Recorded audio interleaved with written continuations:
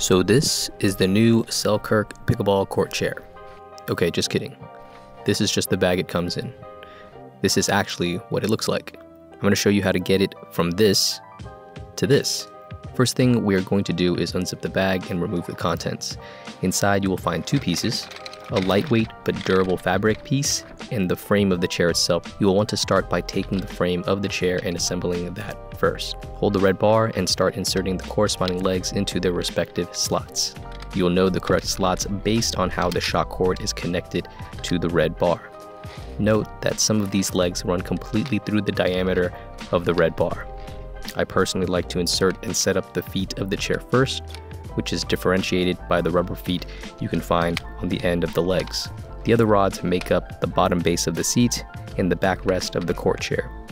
You might notice that on the backrest of the chair that there looks to be a bent or a curve. Don't worry, this is by design to help with setup and provide a more comfortable sitting experience.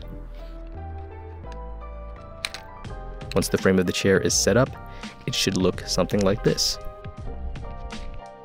Next, you will want to grab the fabric that makes up the actual seat and backrest of the chair.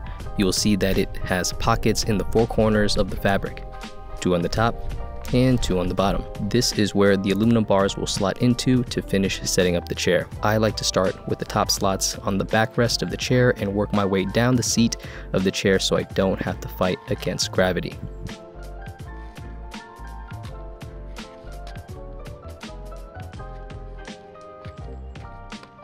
Pro tip, put your foot down on the rubber feet to keep the chair secure while attaching the fabric.